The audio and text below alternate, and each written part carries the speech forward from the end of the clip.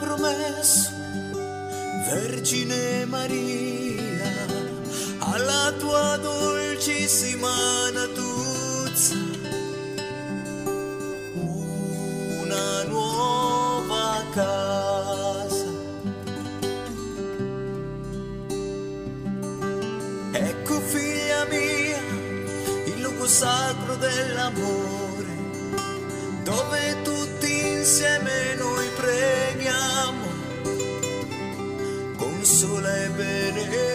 benedici ogni cuore. Mamma Natuzza e cuore immacolato, pregate per noi e per il mondo intero. Mamma Natuzza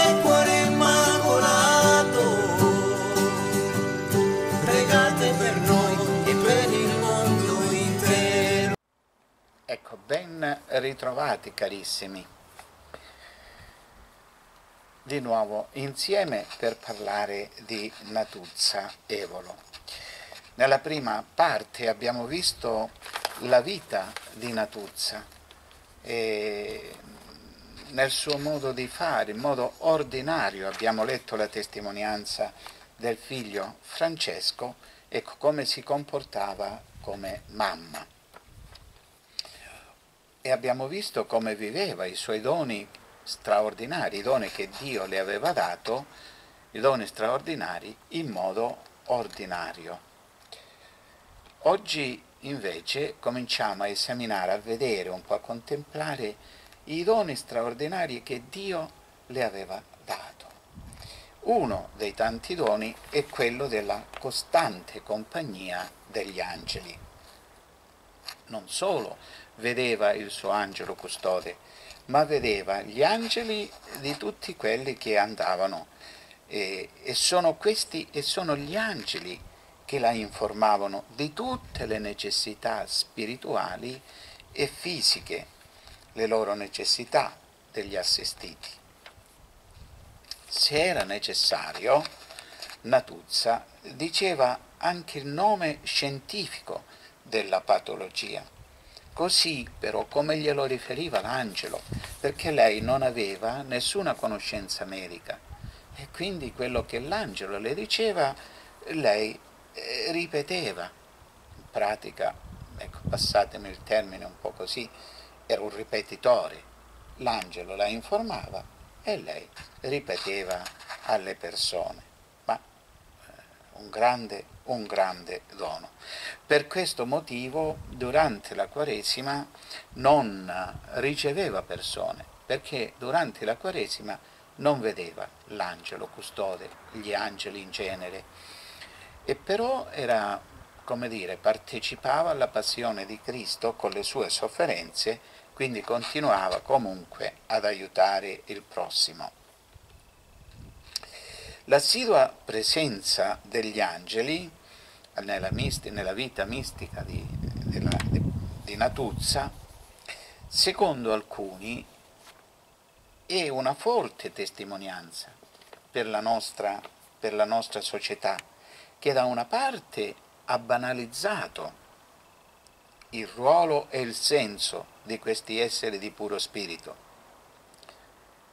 ecco, che sono presenti nella rivelazione cristiana, non è un'invenzione se si va ha banalizzato la società perché se noi andiamo in certi, in certi luoghi e vediamo immagini di angeli in atteggiamenti ed espressioni adatte alle più elementari esigenze, esigenze umane.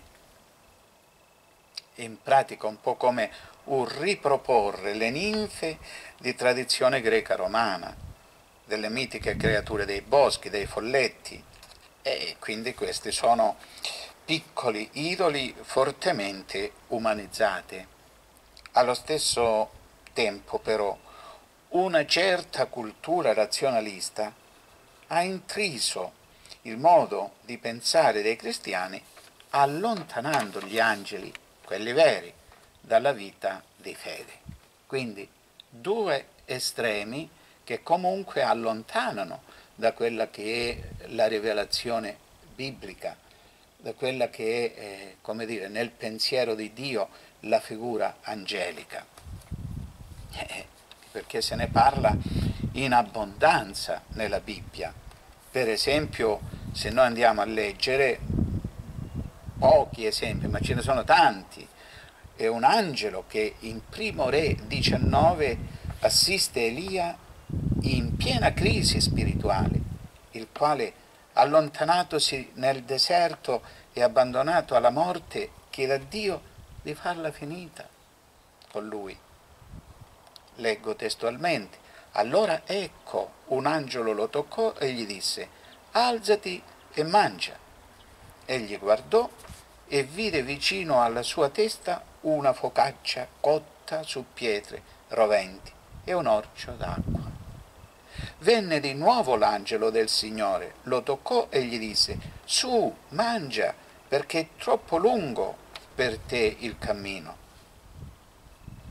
E ancora, in Isaia 6, è un angelo che praticamente sigilla la chiamata del profeta Isaia toccandogli la, le labbra con un carbone ardente.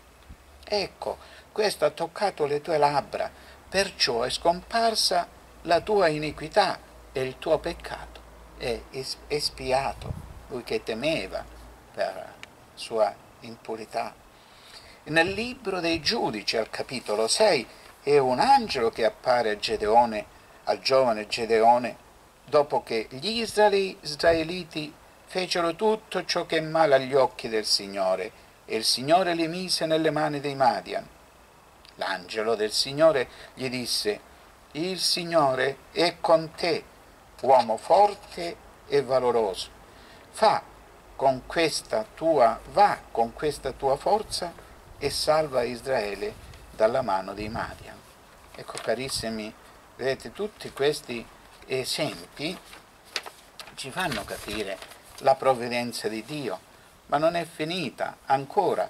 È San Raffaele, l'arcangelo Raffaele, a farsi compagno di strada del giovane Tobia, che lo aiuta a sposare Sara, che era posseduta da un demonio. Consiglia come fare per poterla sposare, consiglia come fare per guarire la cecità del papà di Tobia, il papà Tobbi, diciamo. È lui che consiglia passo passo, è questo arcangelo che dice quando un pesce lungo il fiume Tigri cercava di divorare piede di Tobia, è l'angelo che gli dice eh, come deve fare, di afferrarlo, di prendere gli organi, cuore, il fegato, il fiele, è lui che lo consiglia. È lui ancora che gli dice, dopo che scappa il demonio, di alzarsi tutte e due e pregare. Supplicate, dice l'angelo, lo supplicate il Signore del cielo perché venga su di voi la sua grazia e la sua salvezza. Ancora, quando Agar viene cacciata col figlio Ismaele nel deserto, è ormai alla disperazione. Ma Dio ascolta il pianto di Ismaele e un angelo chiamò Agar dal cielo e le disse, che hai Agar? Non temere, perché Dio ha udito la voce del fanciullo. Alzati, prendi il fanciullo e tienilo per mano perché io ne farò una grande nazione. Dio le aprì gli occhi ed ella vide un pozzo d'acqua. Ecco, carissimi, ancora questi esempi, cioè quando uno ormai è all'estremo, pensa di non farcela, non sa come fare, Dio viene in aiuto e manda, e manda eh, questi angeli per salvarci. tutti questi esempi biblici che abbiamo elencato, emerge che quanto accadeva a Natuzza, perché l'angelo non andava da lei per una passeggiata, ma per aiutare quelle persone in difficoltà che soffrivano per qualche situazione. Quindi quanto accadeva per la presenza degli angeli è in piena linea con la rivelazione non è fuori lo- della logica della fede. E infatti c'è un passaggio nella vita di Natuzza. Il 29 marzo 1996 Gesù le appare e dice così, figlia mia, io sono sempre con te, ti ho lasciato in compagnia di San Gabriele e di San Michele Arcangelo, che Natuzza lamentava tante volte che si sentiva sola. No, dice io ti ho lasciato gli angeli. Vedete come, come torna, come torna questa idea della, della, eh, diciamo, della presenza degli angeli. La panoramica biblica, partendo dalla prima pagina all'ultima, c'è la presenza angelica. Per esempio la chiusura del giardino dell'Eden con questi due angeli che bloccano ogni passaggio, l'annuncio dell'angelo a Maria, invitano Giuseppe a non temere a sposare Maria, consigliano ai magi di non tornare da Erode, cantano la gioia per la nascita di Gesù. Bellissimo inno, no? Gloria a Dio nell'alto dei cieli, che la Chiesa, questo inno, ha posto al centro della liturgia. Sono i primi, gli angeli, a portare l'annuncio ai pastori. Al sepolcro è l'angelo che annuncia alle donne l'avvenuta resurrezione. E così ancora è l'angelo quando muore il povero Lazzaro, si legge in Luca al capitolo 16, dice che Lazzaro quando muore fu portato dagli angeli nel seno di Abramo.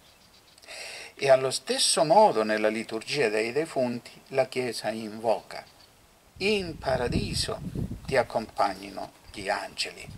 Ecco, sono gli angeli che pregano per noi, dice ancora nel citato libro eh, di Tobia, nella, nella storia di Raffaele, dice Raffaele a Tobia, quando tu e Sara eravate in preghiera, io presentavo la vostra offerta, la vostra preghiera, la presentavo davanti alla gloria del Signore.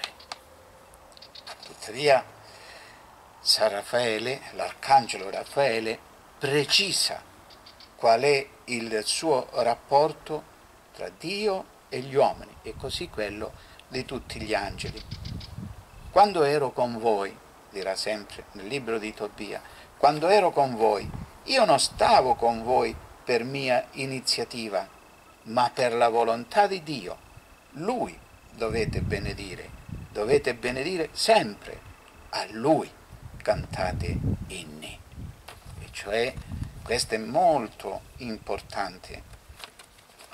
Gli angeli ci spingono, ci portano verso Dio, mai verso se stessi, che loro sono ministri, ma così pure la Madonna, così i santi, sono tutti ministri che spingono verso Dio a guardare a Dio e a Lui noi dobbiamo praticamente affidarci e consegnare la nostra vita. Ecco carissimi, allora anche in questa seconda parte abbiamo concluso questa breve meditazione Natuzza e gli angeli. Vedremo successivamente altri doni, Natuzza e i defunti e così via. Allora adesso per intercessione di tutti gli angeli della Beata Vergine Maria, di San Giuseppe, di tutti gli angeli santi, chiedo a Dio Padre di stendere la sua mano dal cielo e donarvi la sua benedizione, di benedire gli ammalati, di benedire le persone che vivono in difficoltà, che hanno problemi. Scenda la benedizione di Dio sulle vostre famiglie, su tutte le persone che stanno a cuore, sugli ammalati, sui vostri giovani, scenda la benedizione di Dio Onnipotente, Padre, Figlio e Spirito Santo. Amen. Che il Signore vi protegga sempre e che i suoi santi angeli siano sempre accanto a voi.